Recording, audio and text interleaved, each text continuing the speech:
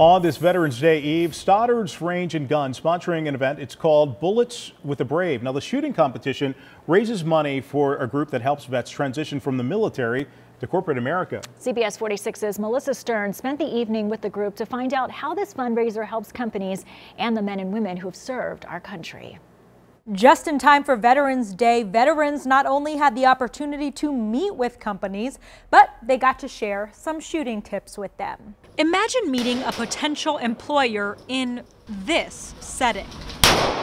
That's exactly what your Grateful Nation Fellows did Sunday evening. The most challenging thing is the lack of real connections in high performance companies. Dozens of veterans and 40 plus of Atlanta's business leaders and owners spent a few hours getting to know each other and practiced their shooting skills. Even though these guys have been top one percenters and have these incredible experiences, the translation into the private sector is difficult. Your Grateful Nation is a nonprofit and the bridge between the highest performers in the military. Guys with MBAs and engineering degrees and guys that are going into private equity and investment banking and uh, consulting, those sorts of things. And high performing companies in America. They have found that they work very well for these companies because the skills that they've learned in the military, logistics, solving problems, translates very well into uh, into industries. Your Grateful Nation provides training for veterans so the transition is easier.